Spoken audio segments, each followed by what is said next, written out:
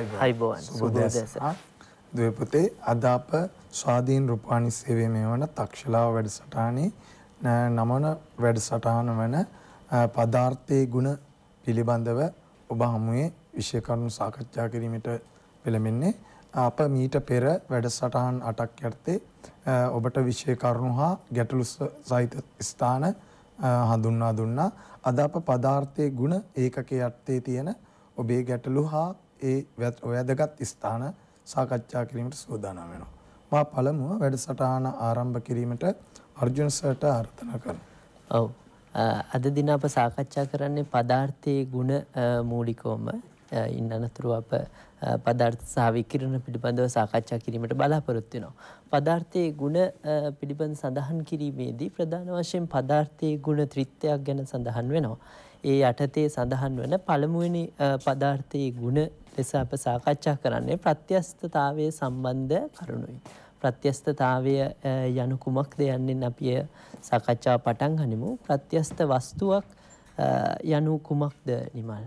ඔව් ඇත්තටම පදාර්ථයේ ගුණයර්ථය අපි ප්‍රත්‍යස්තතාවය පිළිබඳව සාකච්ඡා කරනු ලබන්නේ ඝන පිළිබඳව මා හිතන්නේ ඝන වස්තු පිළිබඳව අප සාකච්ඡා කරද්දී පළමුව ප්‍රත්‍යස්තතාවය යන්න හඳුන්වනවා. එතකොට අප ප්‍රත්‍යස්ත වස්තුවක් යනුවෙන් හඳුන්වන්නේ කුමක්දයි පැහැදිලි කරොත් අතරම ප්‍රත්‍යස්ත වස්තුවක් කියලා කියන්නේ කිසියම් වස්තුවක් මත බලයක් යෙදූ විට විරූපණය වේ.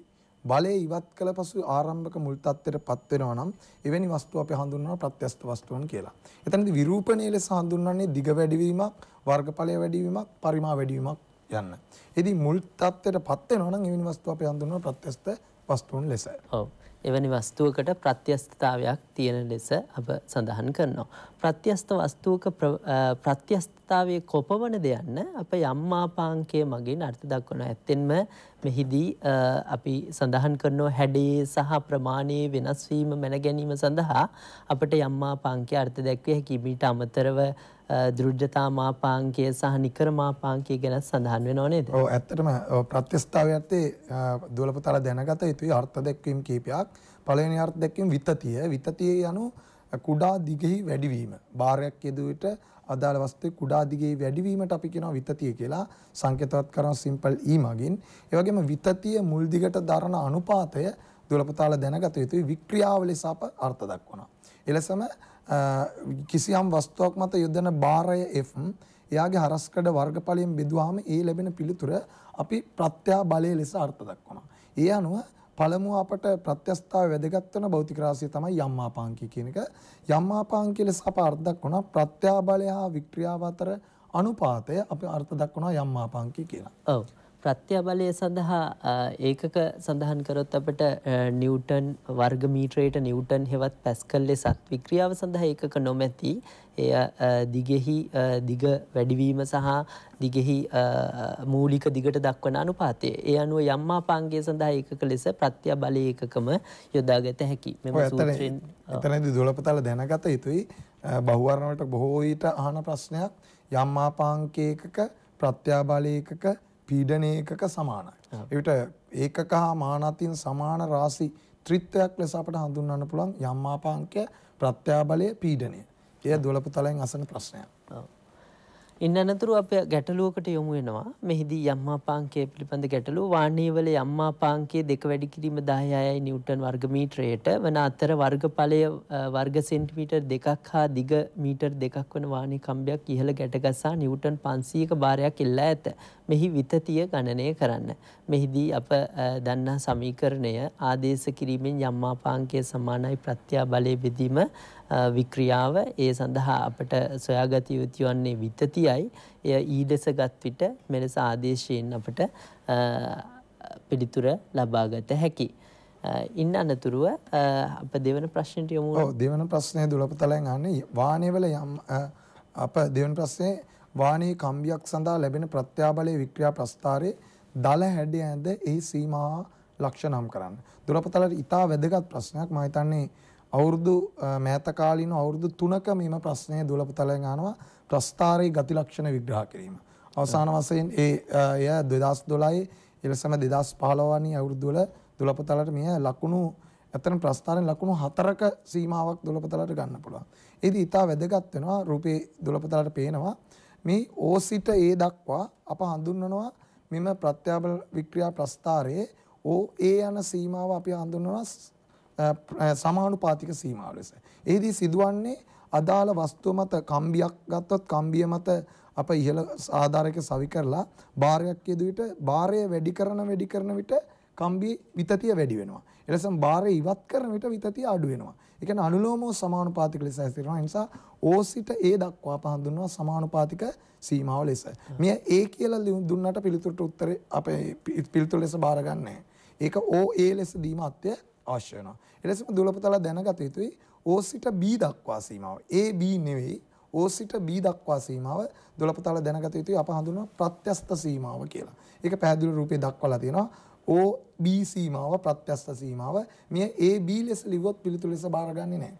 එතකොට එම සීමාව තුළ සිදුවන්නේ ප්‍රත්‍යස්ත සීමාව දක්වා දුලපතල දන්නවා ප්‍රත්‍ය ගුණය රඳා පවතිනවා. එනම් වස්තු මත භාරය ඇති කළ විට විතතිය වැඩි වී භාරය ඉවත් කළ පසු සම්පූර්ණම විතතිය ශුන්‍ය වෙනවා. එම ගති ලක්ෂණ තියෙන සීමාවට අපි හඳුන්වනවා ප්‍රත්‍යස්ත සීමාව ලෙස. ඉන්පසු C අනු අවනත ලක්ෂය ලෙස අප හඳුන්වනවා. ඇත්තටම BC කියන්නේ එක ආසන්න ලක්ෂ දෙකක්. අප ප්‍රස්ථාරාන්දිද්දින් එය ගොඩ පරතරයක් ලෙස දැක්වුවද එය ඈත ලක්ෂ දෙකක්. ඉන්පසු D ලෙස අප හඳුන්වනු ලබන්නේ උපරිම ප්‍රත්‍යාබලයේ ක්‍රියා කරන ලක්ෂය. එතනින් එහාට වස්තුව මත භාරය ඉවත් කළ විටද වස්තුවේ දිග වැඩිවීමක් සිද්ධ වෙනවා. ඊහිදී වස්තුව කැඩී යනවා. ඒ අපි ඊ ભેදක ලක්ෂය ලෙස හඳුන්වනවා කැඩී යාම ලෙස හඳුන්වනවා. ඇත්තෙන්ම සීකරා සීකරා වස්තුව යොමු වන විට ප්‍රත්‍යා බලය යොමු වන විට මේ මෙහි අප සඳහන් කරනවා පර්මනන්ට් සෙට් නොමැතිනම් ස්ථීර ස්ථීර දිග වැඩිවීමක් දක්නට ලැබෙනවා 100ට එකක පමණ දිග වැඩිවීමක් සාමාන්‍යයෙන් දක්නට ලැබෙනවා. ඕ ඒ සීමාව තුළ හූක්ස් නියමය අදාළ කරගත හැකි අපට. හූක්ස් නියමෙන් අදාළ කරගත හැකි. නියමය සඳහන් කරොත් එහෙම උක්ස් නියමේ අප සඳහන් කරොත් එය දුලපතාලා යාන්ත්‍ර විද්‍යාවේ හඳුනා ගන්නා උගේ නියමය නෙමෙයි අත්තර මෙතන සඳහන් කළ යුත්තේ. එෙහිදී දොළපතල අනිවාර්යෙන් කිවිය යුතුයි සමානුපාතික සීමාව තුල කියන වචනේ. සමානුපාතික සීමාව තුල කිසියම් වස්තුවක් මත යොදන භාරය එහි විතතියට අනුලෝමව සමානුපාතික වේ යන්න සඳහන් කිරීම අත්‍යවශ්‍ය වෙනවා. ඔව්. ඉන්නනතුරු අපට යොමු වෙන්න පුළුවන් මෙහි දෙවන ප්‍රස්ථාරයෙන්ද අප දක්වා තිබෙන්නේ මෙහි දක්නට ලැබෙන අපි කියන ඉලාස්ටික් සීමාවේ සිට ප්ලාස්ටික් සීමාව දක්වා මෙම ද්‍රව්‍ය යොමු වෙනවා. ඒසේ නොවේ නම් මෙහි ස්ථීර ස්ථීර අපි කියන්නේ විතතියක් ඇතිවීම ඇතරම ප්‍රත්‍යස්ත සීමාව පැන්නට පස්සේ වස්තුවක් මත භාරයක් යෙදූ විට නැවත මුල් තත්ත්වයට පත් වෙන්නේ නැහැ. එනම් එම වස්තුවේ භාරය සම්පූර්ණයෙන්ම ඉවත් කළද විතතිය ශුන්‍ය වීමක් සිද්ධ වෙන්නේ නැහැ. එය තමයි දෙවෙනි ප්‍රස්තාරයෙන් දුලපතලක් දැක්වන්නේ. භාරය ඉවත් කළ විටද යම් විතතියක් පෙන්වනවා. S යනු විතතියක් පෙන්වනවා. එය අපට ලබා ගන්න පුළුවන් OP ට සමාන්තර රේඛාවක් ලෙස නිර්මාණය කිරීමෙන් ඡේදන ලක්ෂ්‍ය විතතිය ලෙස අපට ඇත්තටම සොයා ගන්න පුළුවන්. ඒ දුලපතල දැනගත යුතුයි. ඔව්. එමෙන්ම බංගුර ද්‍රව්‍යයක් සඳහා නම් මෙය අපට සමානුපාතික සීමාව සහ ඉන් අනතුරු ඊතා ඉක්මනින් මෙහි බේදක ලක්ෂය කරා යොමු වෙනවා එසේ නොවේ නම් එහි ප්‍රත්‍යා බලය යෙදීම නිසා මෙම ද්‍රව්‍ය කැඩී යෑමකට සිද්ධ වෙනවා. ඉන් අනතුරු අප ප්‍රශ්නයකට යොමු වෙනවා පහත රූපයේ දැක්වෙන ප්‍රත්‍යාබල වික්‍රියා ප්‍රස්ථාරයකි. ඉන්න අනතුරුව ප්‍රස්ථාරය ඇසුරින් අසනවා මෙහි අනුක්‍රමණය කුමක්ද. අනුක්‍රමණය යන්න අප ලබා ගැනීම සඳහා සාමාන්‍ය පරිදි මෙහි අනුක්‍රමණය ටෑන්තීටට සමානයි ටෑන්තීටවල අගය සම්මුඛ පාදය බෙදීම බද්ධ පාදය එසේ නොවේ නම් ප්‍රත්‍යා බලය බෙදීම වික්‍රියාව මගින් ලැබෙනවා. ඇත්තෙන්ම ප්‍රත්‍යා බලය බෙදීම වික්‍රියාව අර්ථ දැක්වීම අනුව යම්මා පාංකයාගේට සමාන වෙන බැවින් අනුක්‍රමණය මගින් ඔබට ලැබෙන්නේ යම්මා පාංකේ අගයයි. ඔයතරමේදී දොළපතල මතක තබාගත යුතුයි. අර ප්‍රවේග කාල ප්‍රස්ථාරවල අනුක්‍රමණය වර්ගඵලය මෙන්ම ප්‍රත්‍යාබල වික්‍රියා ප්‍රස්ථාරයේ අනුක්‍රමණයෙන් අනිවාර්යයෙන්ම එයාගේ යම්මාපාංකය ලැබෙන බවත් එලෙසම ප්‍රවේගකාල මේ ප්‍රවේගකාල ප්‍රස්ථාරවල වර්ගඵලය මෙන්ම මේ ප්‍රත්‍යාබල වික්‍රියා ප්‍රස්ථාරවල වර්ගඵලයෙන්ද ඒකක පරිමාවක ගබඩාවන වික්‍රියා ශක්තිය ඒ දෙක දොළපතල කටපාඩමින් මතක තබා ගත යුතුයි බොහෝ විට. ඔව්. මේ අ, තෙවන ගැටලුවෙන් යොමු කරන්නේ වික්‍රියාව අ, දෙක වැඩි කිරීම 10 ඍණ දෙක විට ඒකක පරිමාවක ගබඩා වී ඇති ශක්තිය කොපමණ දෙන්න. ඒ අනුව යටත් වර්ගඵලය මගින් ඔබට ශක්තිය ලබාගත හැකියි. ඉන් අනතුරු අප අ, පරීක්ෂණාත්මක අ, ආකාරයකට යොමු වෙනවා එනම් යම්මාපාංකය සෙවීම සඳහා දාල පරීක්ෂණාත්මක ඇටවුමක් ඇඳ නම් කිරීමටයි අ, ඔබට දී තිබෙන්නේ.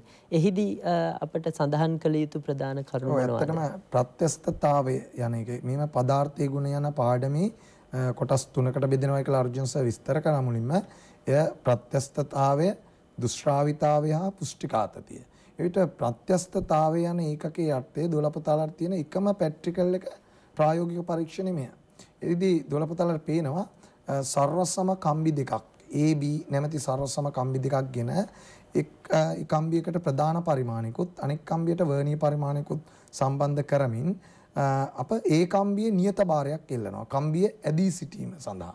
ඉන්පසු එයට සම්බන්ධ B බ- කම්බියට සම්බන්ධ අ, තුලා තැටිය මත අපට භාරය වෙනස් වන පරිදි ස්කන්ධය එකතු කරන්න පුළුවන්. එවිට ප්‍රධාන පරිමාණය හා වර්ණීය පරිමාණය ස්පර්ශ වෙමින් අ, ඒට සාපේක්ෂව B කම්බිය පහළට චලනය වෙන බව අපට දැක ගන්න පුළුවන්. ඒ චලනය වන දිග වැඩි වන දිග අප මැන ගන්න පුළුවන් විතතිය ලෙස. එදී අපට එම ක්‍රියාදාමයට අනුව ප්‍රස්ථාරික ක්‍රමෙන් අප අ, යම් ආපාංකයේ කම්බියේ සෙවීමටයි අදහස් කරන්නේ. ඔව්.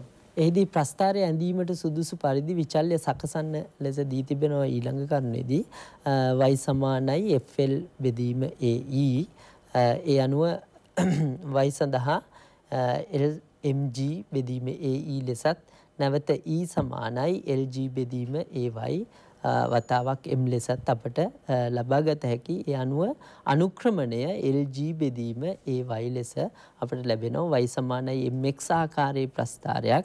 ඊ විතතිය සහ භාරය අපට අ, y සහ x කන් x අ, අ, වි- විචල්යන් ලෙස ලබාගත හැකි. මෙහිදී යම් ආපාංකයේ සොයන්නේ කෙලෙසද කියා අ, ඇසුවතින් ඒ සඳහා දිව්‍ය දිවිය යුතු අ, ම- පිළිතුර වන්නේ අනුක්‍රමණය මගින් අපට ලබාගත හැකි බවයි. මෙහිදී අ, භාරය වෙනස් කරමින් එක් එක් අවස්ථාවට අදාළ විතතිය ලබාගෙන ප්‍රස්ථාරය ඇඳ අනුක්‍රමණය සොයන්න.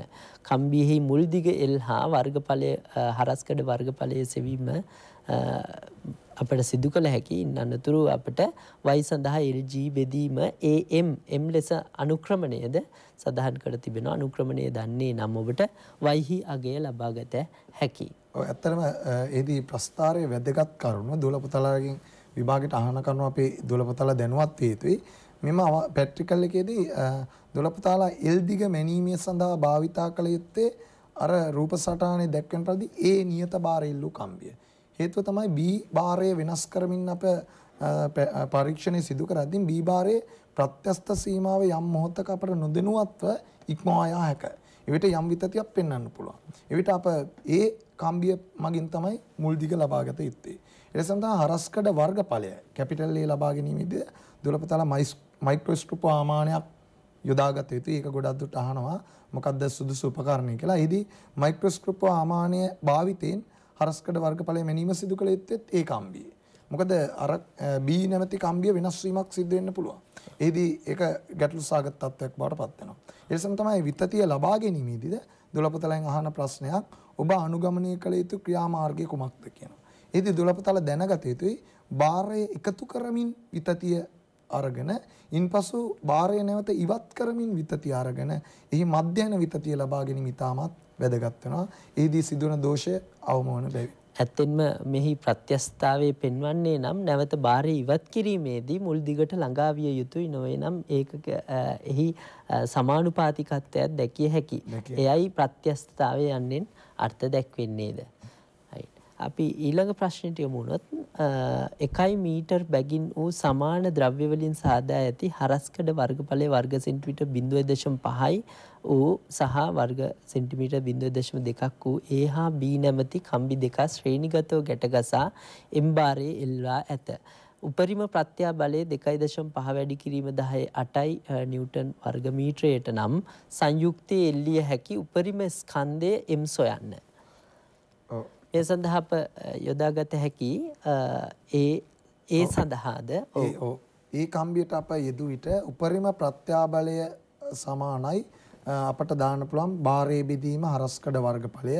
එවිට අපට බාර වෙනුවට දාන්න පුළුවන් M1G එළිය යුතු බාර M1 ලෙස සැලකුව විට. එවිට අපට ලැබෙනවා එය බාරය ලෙස 1.25 වැඩිකම් 10 4ක් ලෙස බීට යෙදු විට අපට එලෙසම ලබා ගන්න පුළුවන් 0.5 වැඩිකම් 10 4ක් ලෙස. ඒදී දුවල පුතාලා ඉන්පසු ග- සිටිය යුතුයි මේ අ, අප සිටියුත්තේ අවම භාරය. මේදී අවම භාරය ලෙස අපට ලැබෙන්නේ දසම පහ වැඩි කිරීම 10 4ක්. එය තමයි සංයුක්ත එළිය යුතු උපරිම භාරය ලෙස අප සඳහන් කළ යුත්තේ.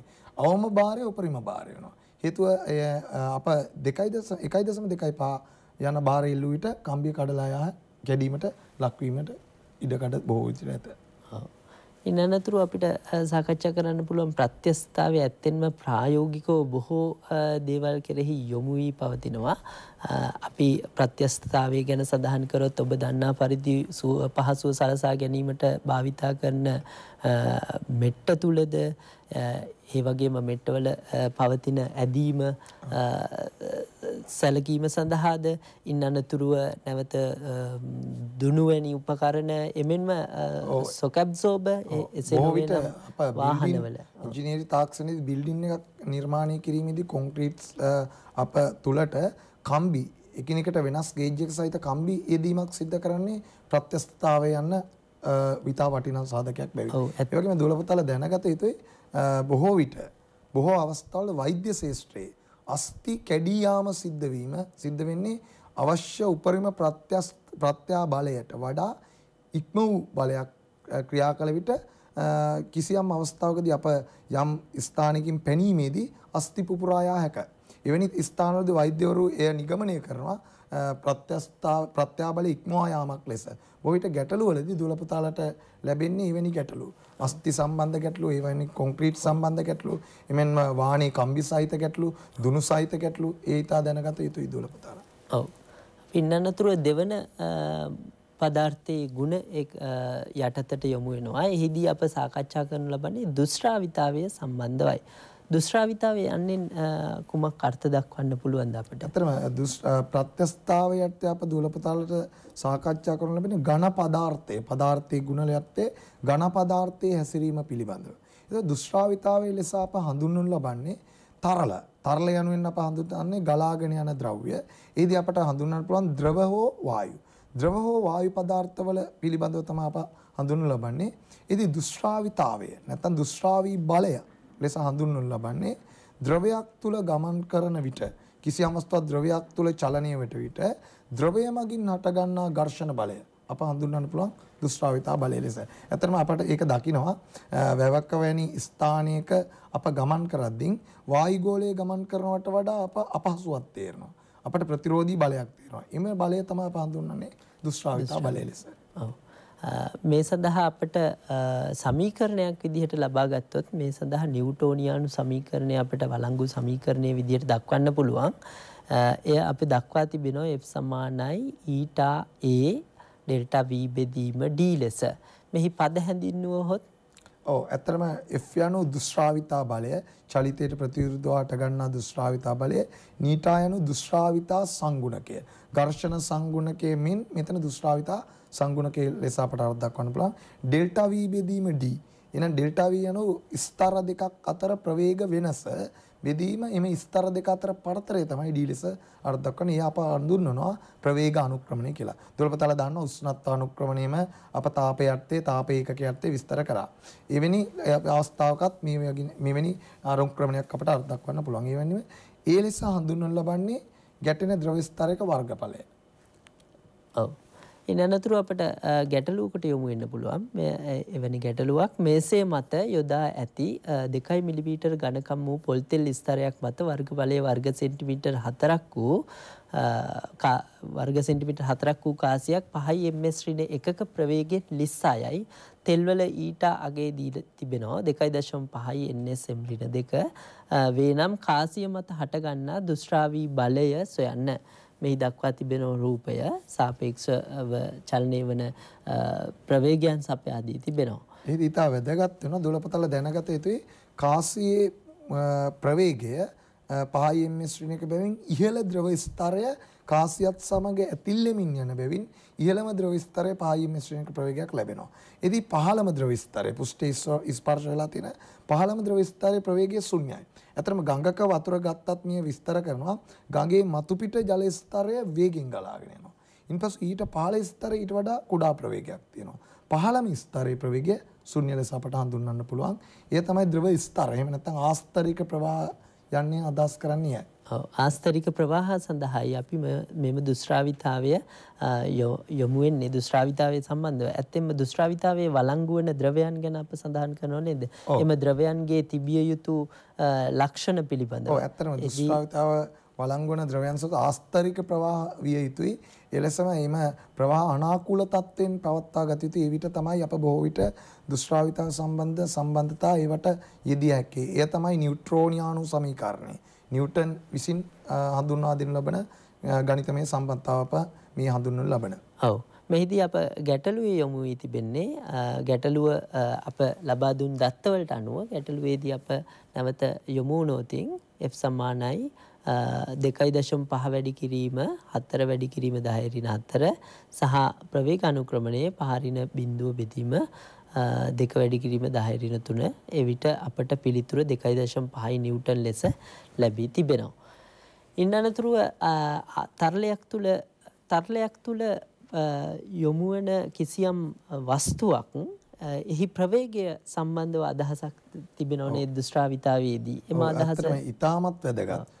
දොලපතලා මේ යෙදීම් පැත්තර ගියොත් ගැටලුවලදී අප දන්නවා කොළඹ වැනි ප්‍රදේශයක ජලය ජලය පිරිසිදු කිරීමේදී කැලණි ගඟෙන් ගන්නා වතුර මඩ සහිත වතුර පිරිසිදු කරනවා. එවිට එම මඩ අංශු අවක්ෂේප වීමට එම නැත්නම් පතුලේ තැම්පත් වීමට කිසියම් කාලයක් තටාකයක් තුල තිබිය යුතුයි. එහිදී මඩ අංශු එම තරලය තුල කිසියම් තොරණයකට ලක් වී කිසියම් ගැඹුරකදී යම් ඒකාකාර ප්‍රවේගයක් ලබා ගන්නවා. එම ලබා ගන්නා ප්‍රවේගය අප හඳුන්වනවා ආන්ත ප්‍රවේගී ලෙස. ඉතින් වෛද්‍ය ශ්‍රේෂ්ඨය තුල නැත්නම් බයෝ කරන දුවල පුතාලටත් ඒ යෙදීමක් හැටියට අප හඳුන්වුවොත් අප යම් අවස්ථාවලදී රුධිර සාම්පල් පරීක්ෂා කිරීමක් සිදු කරනවා. ඉතින් රුධිර සාම්පල් පවතින රුධිර සෛල බොහෝ විට පතුලේ අවක්ෂේප වීමට යම් කාලයක් ගන්නවා. ඉතින් ඔබ දන්නවා ඇතැම් රුධිර පරීක්ෂාවලදී දින 3කට පසු වෛද්‍ය වාර්තාව නිකුත් කරනවා. ඊට හේතුව මෙම රුධිර සෛල යම් ආන්ත ප්‍රවේගයට ලක් විය යුතුයි. එම ආන්ත ප්‍රවේගයට ලක් වූ පසු පතුලේ තැන්පත් වීම සඳහා යම් කාලයක් ගත වෙනවා. අපට එය ෂණිකව සිදු කළ නොහැකි දෙයක්. අන්න එීම ප්‍රවේගය අප හඳුන්වනවා ආන්ත ප්‍රවේගය ලෙස. ඒ නිසා වැදගත් ආන්ත ප්‍රවේගය යන්න. එය ස්ටොක් සමීකරණය මගින් ලබා දෙනවා. ස්ටොක් සමීකරණයෙන් සඳහන් වෙන්නේ F සමානයි 6යි A නීටා වතාවක් V ලෙස. F ලෙස දුෂ්ට්‍රාවී බලයත් A ලෙස අංශුවේ අරය ගෝලාකර ලෙස සලකන බොහෝ අංශුන් ඒ වගේම ඊටා ලෙස දුෂ්ට්‍රාවිතා සංගුණකයේ නැවත වතාවක් වී සහ වී ලෙස ප්‍රවේගය අන්ත ප්‍රවේග අන්ත ප්‍රවේගය ලබා ගත හැකියි. මම හිතන්නේ අප සඳහන් කළ යුතුයි මෙම ස්ටොක් සමීකරණය වළංගු වීමට නම් වීදුරුවක් තුල ජිල් බෝලයක් වැනි අංශුවක් දැම්මට සෙන්ටිමීටර් 15ක් උස වීදුරට ජිල් බෝලය අරය සෙන්ටිමීටර් එකක් වන අංශුවක් දැම්මට එය කවදාවත් අන්ත ප්‍රවේගයට ලක්වන්නේ නැහැ. එහිදී දුවලපතාල දැනගත යුතු මේ හැම අංශුවටම නෙමෙයි. එහිදී ස්ටොක් සඳහන් කරනවා මේ වළංගුණ తত্ত্বය මෙහි යෙදීමට නම් දුවලපතාල දැනගත යුතුයි අංශුවේ අරයා සසඳන කල වාචනයේ නැත්නම් ද්‍රවයේ ගැඹුර අනන්ත වේ යුතුයි අපරිමිත වේ යුතුයි. එෙහිදී පිටි අංශුවක් වැනි කිරි පිටි අංශුවක් එසේ නොමැතිනම් මඩ අංශුවක් වැනි අංශුවකාරය මයික්‍රෝමීටර් එකක් තරම්. වීදුරුවේ උස සෙන්ටිමීටර් 15ක් විතර. එවිට මයික්‍රෝමීටර් එකට සාපේක්ෂව සෙන්ටිමීටර් 15 අනන්ත දුරයි. එවැනි අවස්ථාවක තමයි මෙය යෙදිය හැක්කේ. එලෙසම තව උදාහරණයක් අපි සඳහන් කරොත් ඇත්තටම මේවා විභාගයට එන පේපර් වල පවතින ගැටලු දුලපතාලා දැනගත යුතුයි. ඒකයි මම ගොඩාක් දුරට මේවා විග්‍රහ කරන්නේ. නැත්නම් දුලපතාලාට ඒ අවස්ථාවේදී මේවා තේරුම් ගන්න බැරුව යනවා. ඉතින් අප විස්තර කරොත් වාතය යනු දුෂ්ට්‍රාවි තරලයක් වලාකුළකින් ගිලිහෙන කුඩා ජල බිඳුවක්. ජල බිඳිත්තක් වායුගෝලය තුලින් පහළට ගලා යන විට කිලෝමීටර 8ක පමණ ආසන්න දුරක් පවතිනවා. එවිට මිලිමීටර එකක් වැනි ජල බිඳිත්ත වාතයේ නැමැති දුෂ්ට්‍රාවි තරලය තුල පහළට පැමිණෙන විට එය ආන්ත ප්‍රවේගයට පැහැදිලිව ලක් විය හැකියි. හේතුව මිලිමීටර එකට සාපේක්ෂව කිලෝමීටර 8 යන්න අපරිමිත දුරක්. ඔව්. ඒ ඊට වැදගත් වෙනවා දුර. ඊට වැදගත් දෙයක්. ඔව්. ඉන් අනතුරු අප මෙහි ආන්ත ප්‍රවේගය සමග ආන්ත ප්‍රවේගයට යොමුවන වස්තුවක ආන්ත ප්‍රවේගය අප වක්‍රයක් විදිහට දක්වන්නේ කෙලෙසද කියා දක්වා තිබෙනවා. කාලයත් සමග කාලයත් සමගෙහි ප්‍රවේගී ඉතා වැඩි වෙනවා. ගුරුත්වයේ බලපෑමත් ත්වරණය තියෙනවා. අඩු වෙන ත්වරණයක්. ඉන්පසු එක්තරා ගැඹුරකදී වීදුර උඩදී අප හිතුවොත් මොකක් හරි භාජනයක් උඩදී යම් පිටි වැනි ද්‍රව්‍යයක් යොදද්දී එම පිටි අංශු ත්වරණය වීමක් සිද්ධ වෙනවා. ත්වරණ කාලයත් සමග ත්වරණ වීමක් ඒක ප්‍රස්ථාරි දුලපතලට පේනවා. ඉන්පසු එක්තරා යම් උසකදී එම අංශු වල ප්‍රවේගය ඒකාකාර ප්‍රවේගයක් ගන්නවා. එම ලබා ගන්නා ඒකාකාර ප්‍රවේගය තමයි අප හඳුන්වන්නේ ආන්ත ප්‍රවේගය ලෙස. ඒතා වැදගත් වෙනවා ප්‍රස්ථාරය ඇඳීමට. හරි. අපි ඉන් පසුව යොමුවන්නේ දුෂ්ට්‍රාවිතා සංගුණකයේ උෂ්ණත්වයේ බලපෑමක් තිබේද යන්න ඇත්තෙන්ම උෂ්ණත්වයේ බලපෑමක් අ, වතුර වැනි ද්‍රවයකට තිබෙනවා. එහි ඉතා අ, ඇත්තෙන්ම අපි අ, කියන එක අ, මේ අ, ඊ ඊ ප්‍රස්ථාරයේ එක්ස්පොනේෂල් විදියට. ඝාතීය ශ්‍රිතයක් ලෙස වෙනස් වීමක් දක්නට ලැබෙනවා. ඉතා වේගයෙන් එහි අ, දුෂ්ට්‍රාවිතා සංගුණකයේ අඩුවීම දක්නට ලැබෙනවා. නමුත් වාතයේ වැනි එකදී අපට එහි ක්‍රමික වැඩිවීමක් දක්නට ලැබෙනවා ප්‍රස්ථාරයේ මගින් එය දක්වා ඒ තිබෙනවා. ඉතා වැදගත් ඉන්ජින් වලට භාවිතා වන දුෂ්ට්‍රාවිතා ඔයිල් ඝර්ෂණය අ, ඉන්ජින් වල පාවිච්චි වෙන ඔයිල් සම්බන්ධව අප සාකච්ඡා කරම ඔයිල් රත් වීමේදී එහි උක්කු බව එහෙම නැත්නම් නීටා ඝර්ෂණ සංගුණකය වෙනස් වෙනවා. එහිදී මෙම විචලනය බොහෝ විට ඉංජිනේරුවන් භාවිතා කරලා තමයි ඉන්ජින් වලට ඉන්ජින් ඔයිල් නිර්දේශ කිරීම සිද්ධ කරන්නේ. ඒ ඉංජිනේරු තාක්ෂණයේ ඉතා යෙදීමක්. ඔව්. ඉන් අනතුරු අප අ, නැවත ගැටලුවකට යොමු වෙනවා. අර එකයි දශම දෙකයි දහයි තුනයි මීටර් වූ වානයේ ගෝලයක් දුස්්‍රාවී ද්‍රවයක් තුළ බිඳුවයි දශම බිඳුවයි දෙකයි පහයි එම ශ්‍රණයක ආන්ත ප්‍රවේගයකට ලක්වේ. වානය වල ගනත්වය අටදස් පන්සියයි කජම් රින තුළ නම් ඊටාවලාගේ සොයන්න නැවත. ඔව්. ඒදී අ, දුලපතාලා දැනගත යුතුයි අර්ජුස මේ සමීකරණය ගොඩ නැගීමට දුලපතලෙන් එක අස්සන ප්‍රශ්නයක්. ඒදී සිදුවන්නේ ආන්ත ප්‍රවේගයට ලක්වන අංශුවක් මත බල සලකලා එවිට අප ආන්ත ප්‍රවේගයට ලක්වන අංශුවක් මත බල සලකුවට අංශුවේ බර පහළට mg අප තිබියනවා කියලා හොඳින් දන්නවා. එලෙසම පහළට චලනය වේ නම් ආන්ත ප්‍රවේගය අ, ඉහළට තියෙන දුෂ්ට්‍රාවිතා බලය එය 6.5 a නීටා v ලෙස අප දන්නවා. එලෙසම ඉහළට තවත් තියෙන බලයක් තමයි උඩුකුරු තෙරපුම. එම බල සමතුලිතතාව සැලකිල්ලට ගෙනීමෙන් අපට නීටා සමානයි 2g a වර්ග d ඍණ රෝ බෙදීම 9යි v නෝට් ලෙස ගන්න පුළුවන්. යන සමීකරණය ලැබෙන්නේ ඒ ආකාරයනුයි. ඉන් අනතුරුව ඒ සඳහා අදාළ දත්වයන් ආදේශ කිරීමෙන් අපට ඊටාවල අගේ මෙලෙස ලබාගත හැකි.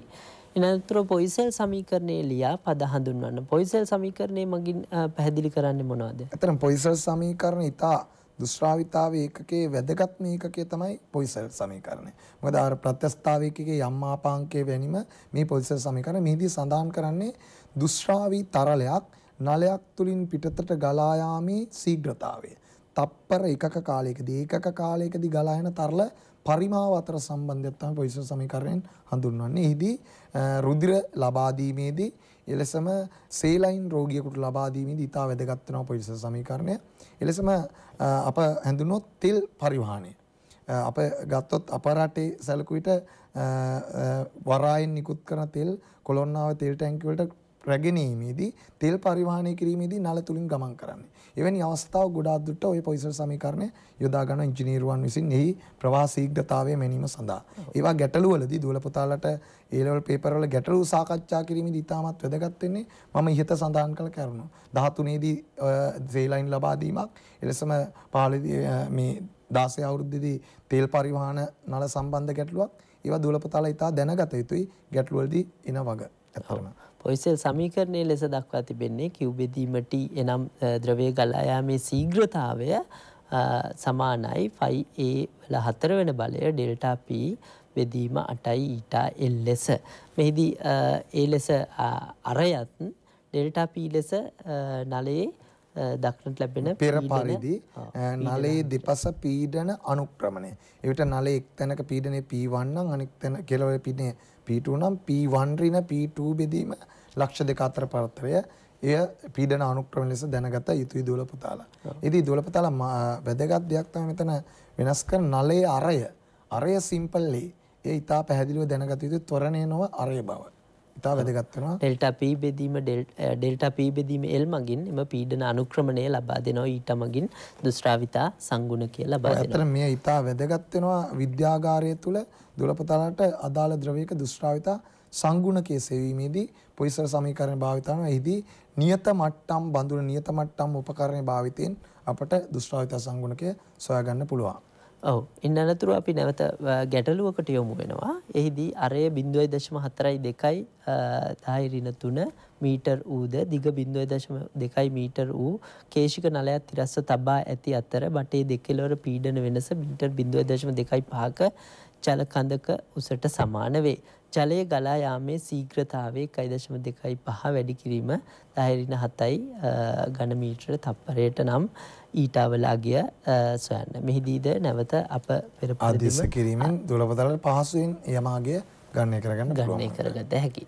ඉන් අනතුරු අප දුෂ්ට්‍රාවිතාවේ පෙර සඳහන් කළ පරිදිම දුෂ්ට්‍රාවිතාවේ යෙදීමක් ලෙස එන්ජින් ඔයිල් වැනි ද්‍රව්‍ය භාවිතා කිරීමේදී අපේ පෙර සාකච්ඡා කරා. එදී උෂ්ණත්වය සමග දුෂ්ට්‍රාවිතාවේ වෙනස් වීම එවැනි අවස්ථාවලදී අප එය සැලකිල්ලට ගෙන ඉංජිනේරු තාක්ෂණයේදී ඉතා වැදගත් සිද්ධාන්තයක්. ඇත්තෙන්ම SAE අගය ලෙස අප ලබා දෙනවා. ඒ දුෂ්ට්‍රාවිතාවය වැඩි ද්‍රව සඳහා SAE 40 ලෙසත් ඒ දුෂ්ට්‍රාවිතාවය අඩු ද්‍රවයන් දුෂ්ට්‍රාවිතාවය ඇත්තෙන්ම ශූන්‍ය වන ශූන්‍යයට ඉතා ආසන්නයි ජලය වන ද්‍රව්‍යක නේද? ඇත්තටම බෙන්සීන් ඊතර වැනි ද්‍රවවල බොහෝ විට දුෂ්ට්‍රාවිතාව ශූන්‍ය විය හැක. නමුත් ශූන්‍යම නෙමෙයි. වගේ දූලපතල දැනගත යුතුයි. ඉන් අනතුරු අප යොමු වන්නේ නැව තුන්වන පදාර්ථයේ ගුණ ලෙස සඳහන් කරන පෘෂ්ටික ආතතිය දෙසටයි. පෘෂ්ටික ආතතිය අර්ථ දැක්වීම කොහොමද අපි කරන්නේ? ඔය ඇත්තටම පෘෂ්ටික ආතතිය යන්නේ දුලපතල සරල අදහසක් දැක්වුවොත් දුලපතල දැනගෙන දැකලා තියෙනවා ජලය මත ජල වීදුරුවක ජල පුෂ්ඨය මත ඇතැම් දූවිලි අංශු ගිලෙන්නේ නැතුව රැඳී පවතිනවා. එලෙසම මීපැණි වැනි ද්‍රාවණයක් තුල යම් ස්කන්ධයක් සහිත කූඹි වැනි සතුන් ඒ මතු පිටින් ගිලින් නැතුව ගමන් කරනවා. එම එම එනම් එම වාතයට නිරාවරණය ඇතම් ද්‍රව පුෂ්ඨ වලට යම් ආතතියක් නැත්නම් බලයක් නැත්නම් ශක්තියක් පවතින බවට අපට ඉතා පැහැදිලි. එම ශක්තිය පිළිබඳව හැදෑරීම අප හඳුන්වනවා පුෂ්ටික ආතතිය ලෙස. වාතයට නිරාවරණය වූ ද්‍රව පෘෂ්ඨයක් මත අඳින ලද කල්පිත රේඛාවක ඒකක දිගක් මත එක් පසකට විහිදී ඇති බලය අපට අර්ථ දැක්විය හැකි පෘෂ්ටික ආතතිය ලෙස එමෙන්ම නැවත සඳහන් කිරීමත් ශක්තිය ඇසුරින් අපි අර්ථ දැක්වුවොත් වාතයට නිරාවරණය වූ ද්‍රව පෘෂ්ඨයක වර්ගඵලය ඒකක එකකින් වැඩි කිරීම සඳහා කළ යුතු කාර්ය ලෙසද මෙය අර්ථක හැකියේ T සමානයි W බෙදීමේ ඒ ලෙස අපට දැක්විය හැකි. ඉන් අනතුරු අප ගැටලුවකට යොමු වෙනවා දිග මීටර් දෙකක් වූ ඒකාකාර කම්බියක් 0.25 වැඩි කිරීම 10 ඍණ 3 නිව්ටන් මීටරයට වූ පෘෂ්ඨික ආතතියක් ඇති ද්‍රවයක් මත ස්පර්ශව පවතී. කම්බිය මත පෘෂ්ඨික ආතති බලය සොයන්න. මේ සඳහා අප සමීකරණය යෙදීමෙන් T සමාන F බෙදීම L ලෙසත් F සමානයි T L ලෙසත් ගෙන නැවත ආදේශයෙන් ඉතා පහසුවෙන් අපට බලය ලබාගත හැකි. ඉන්න අනතුරු අප දෙවන ප්‍රශ්නය ඉතා වැදගත් ප්‍රශ්නයක් විදිහට අප දක්වන්න පුළුවන් රසදිය සහ ජලය වැනි ද්‍රව බිඳු දෙකක් ඇඳ එහි ස්පර්ශ කෝණය දක්වන්න මෙහිදී සඳහන් කළ යුතු ඇත්තම දුලපතල ඉතා වැදගත් ලෙස අහන ප්‍රශ්නයක් ස්පර්ශ කෝණය දුලපතල දන්නවා ජලය වැනි දෙයක් ගත්තාම මේසයක පුෂ්ඨයක් මත එයත් තෙත් වෙනවා. නමුත් රසදිය වැනි ද්‍රවයක් ගත්තාම මේසයක පුෂ්ඨයක් මත ලැබුවට තෙත් නොවන ද්‍රවයක්. ඒ ගුණයට හේතුව ස්පර්ශ කෝණය. එවිට අප රූපය පරිදි දැක්කොත් ජලය වැනි ද්‍රවයක් අපි සැලකු විට එය පැතිරීමක් දකිනවා. ඊට හේතුව ද්‍රවය තුලදී ස්පර්ශකය සාධන කෝණය අප හඳුන්වනවා ස්පර්ශ කරන ද්‍රවය තුලදී. ඒ ඉතා වැදගත්. දුලපතල පේනවා ජලයේදී ද්‍රවය තුලදී කෝණය සුළු කෝණයක් හදාගන්න උත්සාහ කරනවා. ඒ බැවින් පැතිරීමක්, තෙත්වීමක් දකින්න පුළුවන්.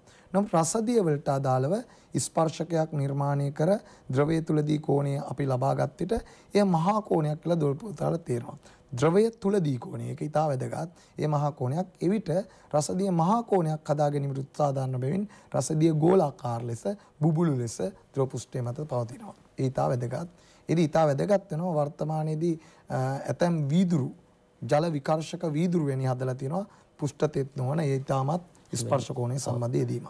එමෙන්ම ජලය විකර්ශණය කරන පේන් වර්ග ඒ වගේම නැනෝ තාක්ෂණය භාවිතෙන් හදා ඇති ද්‍රව්‍යයන් අපට දැක්විය හැකි. එය ඉන්න අනතුරු අප කේෂික උද්ගමනය ලෙස අර්ථ දැක්වන්නේ කුමක්ද. කේෂික උද්ගමනය ලෙස අපට අර්ථ දැක්කේ කේෂික උද්ගමනය යන්නෙන් අපට අර්ථ දක්වන්න පුළුවන් ද්‍රව ද්‍රවය තුළ කිසියම් කේෂික නලයක් සිහින් නලයක් ගිල්වා ඇති විට ද්‍රව මට්ටමට සාපේක්ෂව නලය තුළ ඉහළට ඇති කරන පුෂ්ටික ආතති බලය නිසා ද්‍රව කඳක් ඉහළට ගමන් කරනවා. එම ඉහළට ගමන් කිරීමේ ක්‍රියාවලිය අප හඳුන්වනවා කේශික උද්ගමන ක්‍රියාවලිය කියලා. එහිදී ස්පර්ශ කෝණය සුළු කෝණයක් නම් ජලය වැනි ද්‍රවයක ද්‍රව කඳ ඉහළට ගමන් කරනවා. ඒ උද්ගමනයේ ලෙසත් ඉන්පසු අප දැක්වූ විට මහා කෝණයක් පවතින විට පුෂ්ටිකාත්ති බලය පහළට ක්‍රියා කරනවා. එවිට පහළට ක්‍රියා කිරීම නිසා ද්‍රව මට්ටමට සාපේක්ෂව නලය තුල ද්‍රව කඳ පහළ යාමක් සිද්ධ වෙනවා. එය කේශික අපගමන ක්‍රියාවලිය ලෙසත් හඳුන්වන්න පුළුවන්. මේ ඊට වැදගත් වෙනවා සිහින් නල තුල. එනම් ශාක තුල කේශික නල පවතිනවා. ශාක තුල පවතින සෛලම වාහිනී කේශික නල. ඒතකොට ශාකයේ තුල ඉහළට ද්‍රව කඳක් ඇද ගැනීම සඳහා රඳවා ගැනීම සඳහා කේශික උද්ගමන ක්‍රියාවලිය බොහෝ විට වැදගත්. ඇත්තෙන්ම කේශික උද්ගමනය මගින් තමයි කපු වැනි රෙදි මගින් තෙත මාතු කිරීමට ලබාගත හැකි. ඒ අනු ඒ අනු බොහෝ බොහෝ අපි සැලකිය හැකි යෙදීම් තිබෙනවා. ඇත්තටම අප මේ යෙදීම් පවසන්නේ දුවලපතාලගේ ගැටලු වල එන්නේ එවැනි යෙදීම්. නමුත් දුවලපතාල ප්‍රායෝගිකත්වයේ බොහෝ විට දුවලපතාලට දැන් දුවලපතාලට ප්‍රායෝගිකත්වයේ නොමැති බැවින් ඒවා දුවලපතාලට එකපාර වැටහෙන්නේ නැහැ. එය දැන සිටිය යුතුයි යෙදීම් ලෙස. ඔව්. ඉන් අනතුරු අප නැවත ගැටලුවකට යොමුුවමු කේශික උද්ගමනය එච් සඳහා එය සෙවීමට අදාළෝ ගනිතමේ සම්බන්ධතාවය එලියා පදහඳුන් වන්න.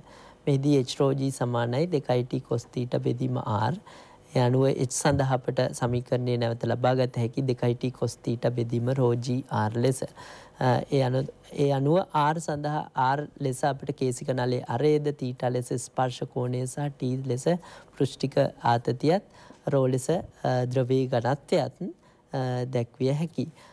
ඉන් අනතුරුව අපට නැවත ගැටලුවකට යොමු වෙන්න පුළුවන් අභ්‍යන්තරාරයේ බිඳුව දශම දෙකයි පහයි මිලිමීටර් වන කේශික බටයක පෘෂ්ටිකාතතිය හැත්ත පහ වැඩිකිරියෝ දහයරින තුනයි නිවටන් මීට්‍රේට වන ජලයෙහි සිරස්ව ගිල්වා ඇත. බටේ තුළ ජලය ඉහළ නැගී උස සොයන්න ස්පර්ශකෝණය ශූන්‍යයයි සැලකූ විට කොස්තීට සඳහා නැවත කොස්සී බින්දුවේ අගේ එක ලෙසත් ලැබෙනවා. ඒ අනුව නැවත සුපුරුදු සමීකරණයට ආදේශ කිරීමෙන් එච් සමානයි හයයි දශම එකයි දෙක ලෙස ලැබෙනවා. ඉන්නතුරුව ද්‍රවමාගවකයක් දෙපස හටගන්නා අමතර පීඩනය සඳහා ගනිතමය සම්බන්ධාවයක් ලියා දක්වන්න. ඒ සඳහා වැදගත් කරුණු ලෙස ද්‍රව මාවකයක අමතර පීඩන ලෙස හඳුනන මාවකයේ පැවතීම අප සලකා බැලූ විට රූපේ පරිදි ඇතුළත පීඩනය වැඩි විය යුතුයි පිටත පීඩනය අඩු විය යුතුයි. ඒ නිසා පීඩන අන්තරයක් ක්‍රියා කරනවා. P1 ඍණ P0 ලෙස. ඒ අමතර පීඩනය නිසා හඳුන්වනවා මේ සාධනය කළ හැක දූලපතාලට එවිට P1 ඍණ P0 අපට 2t යට R ලෙස ලැබෙනවා. R යනු මාවකේ ආරය ලෙස අපට ලබා ගන්න පුළුවන්. මේදී ඊට වැදගත් වන්නේ සබන් වැනි බුබුලක් සැලකුව විට ඇතුළත හා පිටත යන දෙකෙහිම වාතයට නිරාවරණය වූ පුෂ්ඨ දෙකක් පවතින බැවින් දුලපතල දැනගත යුතුයි. P1 ඍණ P2 දෙකයි T වෙනුවට හතරයි Tට ආදේශ කිරීම ඉතා වැදගත් සංසිද්ධියක්. ඉන් අනතුරු අප නැවත ගැටලුවකට යොමු වෙනවා සබන් ද්‍රාවණයක සෙන්ටිමීටර් 3ක් සහ සෙන්ටිමීටර් 4 කරයක් සහිත සබන් බුබුලු දෙකක් එකිනෙකට එකතු වී ලොකු සබන් බුබුලක් සාදයි. එහි අරේ සොයන්න. මෙහි සමීකරණ යොදා ඇති ආකාරය පැහැදිලි කරත්. ඔව් ඇත්තටම සබන් බැවින් දුලපතලාර මම ඉස්සෙල්ලා සඳහන් කළ පරිදි ඩෙල්ටා P සමානයි දෙක වතාවක් දෙකයි T. එවිට හේතුව වාතයෙන් නිරාවරණය පුෂ්ඨ දෙකක් පවතින බැවින් එවිට අපට එනවා දෙකයි T ට R. එවිට සුපුරුදු පරිදි ආදේශෙන් අපට ලබා ගන්න පුළුවන් දෙකයි T වතාවක් බුබුලේ වර්ගඵලය 4.5R වර්ගය එලෙසම අනිත් එකටත් ඒ ලෙසම දාන්න පුළුවන්. එවිට පද සුළු වීමෙන් අරය පහ ලෙස ගණනය කරගන්න පුළුවන්. ඔව්. ඉන් අනතුරුව සෑදෙන නවබුබුලේ දෙපස පීඩන වෙනස සොයන්න නැවත ඩෙල්ටා P සමානයි දෙක වතාවක් 2T බෙදීම R. ඒ අනුව නැවත සමීකරණයට ආදේශ කිරීමෙන් ඔබට 20යි පැස්කල් ලෙස පිළිතුර ලබාගත හැකියි. ඉන් අනතුරු පෘෂ්ටික ආතතියේදීම අප පෙර සඳහන් කළ පරිදි සබන් වැනි ද්‍රාවණයක් යෙදූ විට දුෂ්ට්‍රාවිතාවේ අඩුවීම නිසා සබන් මගින් කේශික උද්ගමනය පහසු කිරීම මගින් ඒ සඳහා කුණුවලි කුණු ඉවත් කිරීමට යොදාගත හැකි. එවැනිම බොහෝ යෙදීම් අපට සඳහන් කළ හැකි. අප ඉන්න අනතුරුව යොමු වෙනවා අපේ නව පාඩම වෙත ඒ සඳහා පදාර්ථ සහ විකිරණ පාඩමේදී පාඩම සඳහා අපි යොමු වෙනවා.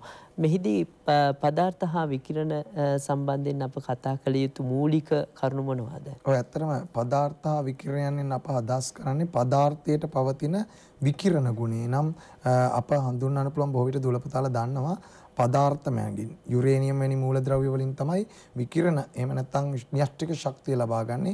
එම විකිරණ භාවය පිළිබඳව සාකච්ඡා කිරීම තමයි අප මේ පාඩමේ හඳුන්වන්නේ. මේ ප්‍රධාන වශයෙන් කොටස් තුනකට බෙදන්න පුළුවන්. මෙයත් එකක් මෙම පාඩමේ යටතේ අපට හඳුන්වන්න පුළුවන් තාප විකිරණ පිළිබඳව කෘෂණ වස්තු දෙවෙනි එක ප්‍රකාශ විද්‍යුත් ආචරණය පිළිබඳව තුන්වෙනි ඒකකයේ ලෙස විකිරණශීලීතාවයේ න්‍යෂ්ටික ශක්තිය පිළිබඳව. පළමු අප කුසන වස්තු පිළිබඳව මේදී අප ස්ටෙෆාන් නියමය තමයි අපට ඉතා වැදගත් ලෙස දැක්විය හැකි වන්නේ. මූලිකවම කෘෂ්ණ වස්තු පිළිබඳ සාකච්ඡා කිරීමේදී එදි ස්ටෙෆාන් නියමය අපට ස්ටෙෆාන් නියමේ රත් වූ වස්තුවක් මගින් ලබා දෙන ශක්තිය අපට දැක්විය හැකි සික්මා වතාවක් ටීවල හතරවෙනි බලය ලෙස ටී ලෙස නිරපේක්ෂ උෂ්ණත්වය සැලකිය හැකි සිග්මා ස්ටෙෆාන් නියතය ලෙසත් ඒකක වර්ගඵලයකට ලම්බකව මුදාහරණ ශක්තිය ලෙසත්. ඉනත් කෘෂ්ණ වස්තු වර්ණාවලියකට අදාළ වක්‍රය ඇඳ එහි ලක්ෂණ සඳහන් කරන්න. වක්‍රය අප සුපුරුදු වක්‍රයයි. මෙහිදී උෂ්ණත්වය සමඟ විචලනය මෙය ඇඳීමේදී ඉතා වැදගත් වෙන දුරපතල දැනගත යුතුයි. උෂ්ණත්වය වැඩි වන විට ලැම්ඩ මැක්ස් උපරිම තරංගායාමය අඩුවීමක් සිද්ධ වෙනවා. ඒ දූලපතල දැනගත යුතුයි. ඇඳීමේදී ඉතා වැදගත් වෙනවා. ඔව්. ඉතින් ඉතා කුසන වස්තු වර්ණාවලිය ඉතා වැදගත් නියමයක් තමයි දූලපතල දැනගත යුතුයි. සෑම අවස්ථාවකම නිරපේක්ෂ උෂ්ණත්වය හා උපරිම ශක්ති විමෝචනයට අදාළ තරංගායමය අතර ගුණිතය සෑමටම නියතයක්. මේ ඇත්තටම වින්ගේ නියමය ලෙස අප හඳුන්වනවා. ඒ නිසා එම නියතය අප වින්ගේ විස්ථාපන නියම ලෙස අර්ථ දක්වනවා. අර්ථ දක්වනවා. වස්තුවේ උෂ්ණත්වය වැඩි කළ යුතු ලැම්ඩා මැක්ස් අඩුවේ මෙන්ම සෑම විටම නිරපේක්ෂ උෂ්ණත්වය අපට වීන් නියමය ගැන සඳහන් කළ හැකි ලැම්ඩා මැක්ස් වැඩි කිරීම T සමානයි C ලෙස. ඉන් අනතුරු අප නැවත ගැටලුවකට යොමු වෙනවා. හිරුවෙලිය අදාළ සූර්ය විකිරණ උපරිම ශක්ති විමෝචනයට අදාළ තරංග ආයාමය 400 නැනෝමීටර් වේ සූර්යාගේ උෂ්ණත්වය සොයන්න. මේ සඳහාද නැවත වීන් නියමය ආදේශ කිරීමෙන් අපට පිළිතුර ලබා ගත හැකියි. එහි පැහැදිලි කළ යුතුවන්නේ. ඉන් අනතුරුව ඊ අංශුවක් එක වැඩි කිරීම දහයි හතයි එම්ස්්‍රින එකක වේගෙන් ගමන් ගන්නා විට හිතරංග ආයාමය සොයන්න. නැවත මේ සඳහන් කළ ඩීබ්‍රෝග්ලි තරංගායම නිසා හඳුන් ලබන්නේ මිය ලැම්ඩා සමාන H බෙදීම P දුලපතල දන්නා සුපුරුදු සම්බන්ධතාවය. එහිදී H අණු ප්ලාන්ක් නියතය P අණු අංශයේ ගම්‍යතාවය. එතකොට ඉලෙක්ට්‍රෝනයක් අපි සැලකුවාම MC ගෙන් ලැබෙන්නේ ගම්‍යතාවය. ඉතින් අපට ලැම්ඩා සමානයි 0.0.73යි නැනෝමීටර් ලෙස ලැබෙනවා. ඇත්තටම එනම් අඩු තරංගායමක් ලැබෙන්නේ තරංගායමක් පවතින බැවින් ඉලෙක්ට්‍රෝනයට අංශුමය ස්වභාවයක් මෙන්ම තරංගමය ස්වභාවයක් පවතින නිසා අපට විග්‍රහ කරන්න පුළුවන්. ඔව්. ඉන් අනතුරු ප්‍රකාශ විද්‍යුත් ආචාන සංසිද්ධිය විස්තර කිරීමට අදාළ ප්‍රකාශ විද්‍යුත් කෝෂයක් ඇඳ දක්වන්න. මේ සඳහන් කර තිබෙන රූපය දක්වා තිබෙනවා. මෙහි ප්‍රායෝගික අපි සඳහන් කරොත් ඇත්තටම ඒදී පුෂ්ඨය මත ආලෝක ශක්තිය පතන වෙන විට ආලෝකයේ සතු පෝටෝන එක ශක්තිය E සමානයි HF ලෙස දුවලපතල දන්නවා. එම පෝටෝන ශක්තිය උරා ගනිමින් එම පුෂ්ඨයෙන් ඉලෙක්ට්‍රෝන ඉවත් වෙනවා. ඉවත් වීම සඳහා ලබා ගන්නා සංඛ්‍යාතය අප දේහලීය සංඛ්‍යාත ලෙස හඳුන්වනවා. එෙහිදී ඉවත් වීමට අවශ්‍ය ශක්තිය අප හඳුන්වනවා කාර්යසිතය ලෙස. එෙහිදී කාර්යසිතය ලබා ගනිමින් එම ඉලෙක්ට්‍රෝනය ඇනෝඩි වෙත චලනය වෙනවා. එදී ඉලෙක්ට්‍රෝන චලනය වීමක් නිසා මේදී ධාරාවක් පෙන්වනවා. එම ධාරාව අප හඳුන්වනවා ප්‍රකාශ විද්‍යුත් ධාරාව ලෙස. ඔව්. නැනතුරුව මෙහි විභව වෙනස් කරන විට ධාරාවට අදාළ ප්‍රස්ථාරය ඇඳීමයි අපේ බලාපොරොත්තුව. එහිදී අපට දැකගත හැකි නේද මේ ධන විභවය ධන ලෙස විභවය වැඩි කළ විට දුලපතලට පේනවා ධාරාවක් වැඩි වෙන්නේ නැහැ. නමුත් අග්‍ර මාරු කරමින් විභව වැඩි කරලා ලෙස ඍණ ලෙස ධාරාව ක්‍රමයෙන් ශුන්‍ය වෙලා ඉලෙක්ට්‍රෝන නතර වෙනවා. එහිදී එම විභවය අප හඳුනන නැවතුම් විභවය ලෙස. ඉන් අනතුරුව මෙහි ක්‍රියාව පැහැදිලි කරන්න ඔය ඇත්තටම එහෙම ක්‍රියාව පෙර පැහැදිලි කරේ. ඒදී ඉතා වැදගත් වෙන ඊළඟ කොටස දුලපතලට පේනවා තීව්‍රතාවය. පතන වෙන පෝටෝන කදම්බේ ආලෝකයේ තීව්‍රතාවය වැඩි කළ විට ක්‍රමක්‍රමයෙන් තීව්‍රතාවය වැඩි වෙන විට අ, ප්‍රකාශ විද්‍යුත් ධාරාව වැඩිවීමක් සිද්ධ වෙනවා. නමුත් නැමතුම් විභවය සමානයි. හේතුව ඉලෙක්ට්‍රෝන චාලක ශක්තිය සමාන බැවින් නැවතුම් විභවය සමාන වෙනවා. ඉතින් ඊළඟ කොටස ලෙස දුරපතල දකිනවා අ, පතනය කරන ආලෝක කිරණ කදම්බේ සංඛ්‍යාතය වැඩි කළ විට ඉලෙක්ට්‍රෝන චාලක ශක්තිය වැඩි වෙනවා චාලක ශක්තිය වැඩි වෙන හේතුවෙන් නැවතිය යුතු විභවය එහෙම නැත්නම් නැවතුම් විභවය ක්‍රමක්‍රමයෙන් වැඩි වෙනවා නමුත් ධාරාව නියත භාවයට පත් වෙනවා එම ප්‍රස්ථාර ඇඳීමේ හැකියාව දුලපතාලා දැනගත යුතුයි ඔව්. ඒ වගේම නැවතුම් විභවය සමග සංඛ්‍යාතය වෙනස් වීම සඳහන් කරොත් ඔව් ඇත්තටම නැවතුම් විභවය සමග සංඛ්‍යාතය විචලනය ගත්තොත් අප ප්‍රකාශ විද්‍යුත් සමීකරණයට අනුව එය y x y අක්ෂ වලට ලැබු විට y සමානයි mx ධන c ආකාරයෙන් ලැබෙන. ඇත්තටම මේදී කාර්යසිතේ තමයි මේ අන්තක්කණ්ඩ ලෙස දැක්වන්නේ.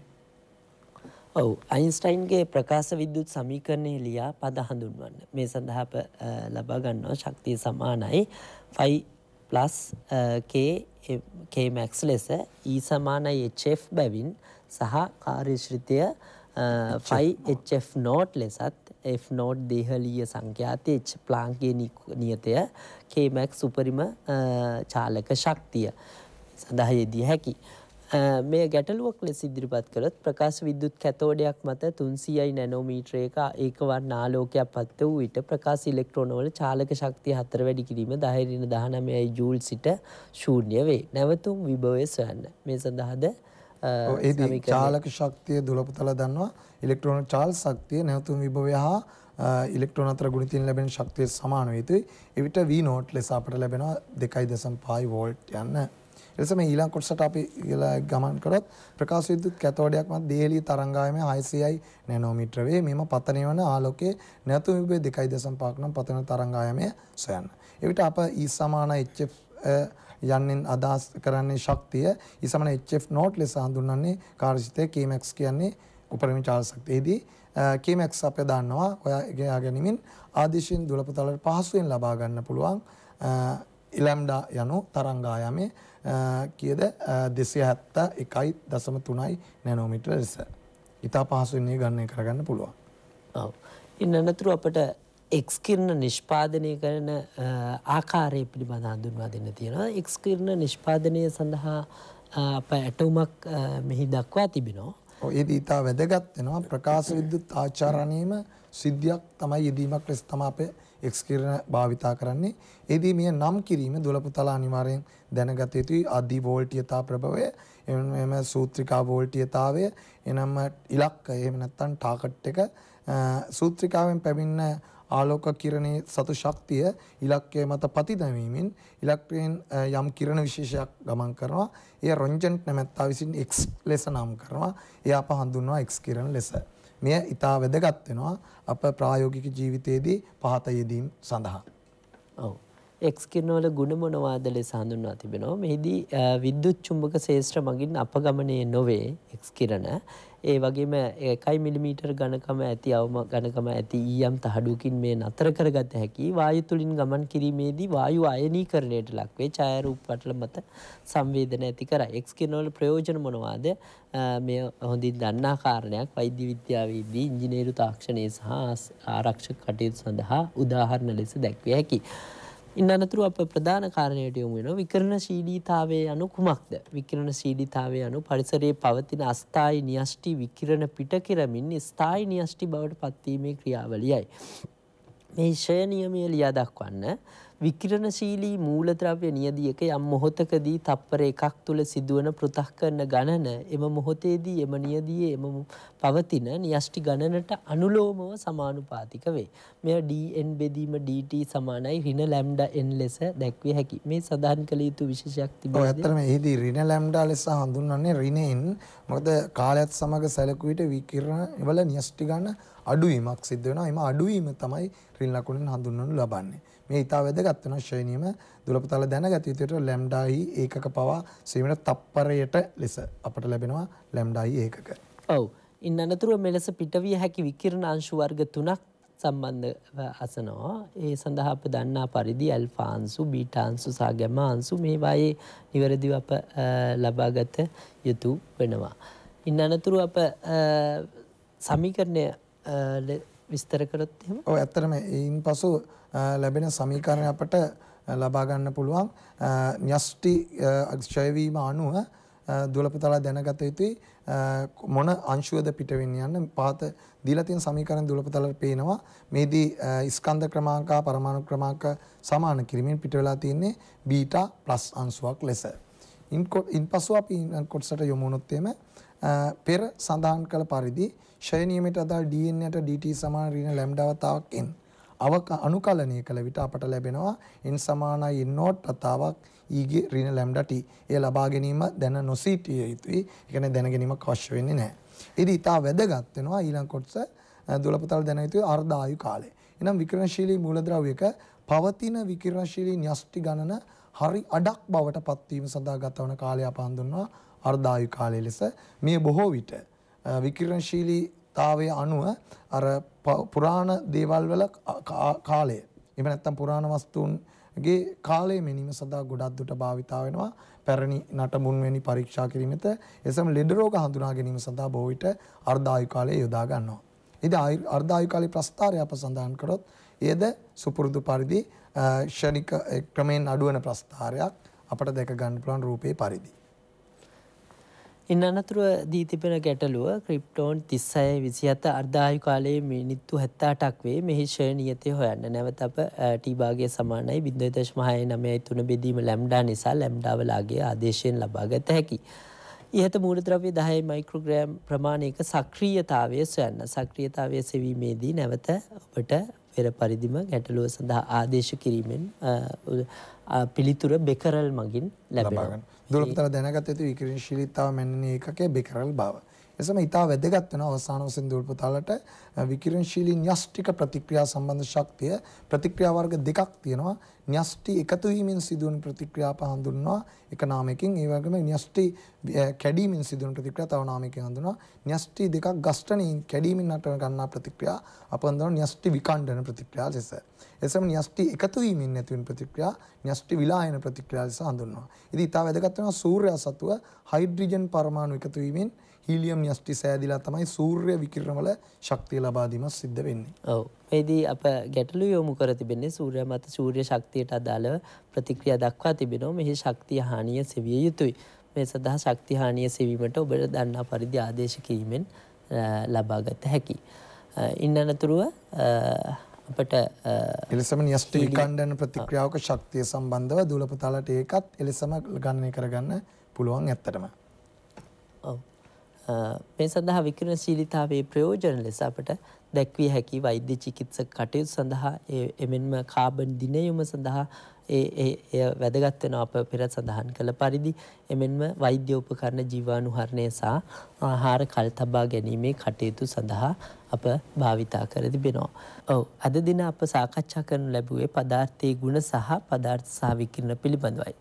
ඊළඟ පාඩමේදී අප ඔබ හමුවන්නේ ඉලෙක්ට්‍රොනික විද්‍යාව පිළිබඳ කරුණු සාකච්ඡා කිරීමටයි. ආයිබෝවන් සුබ දවසක්.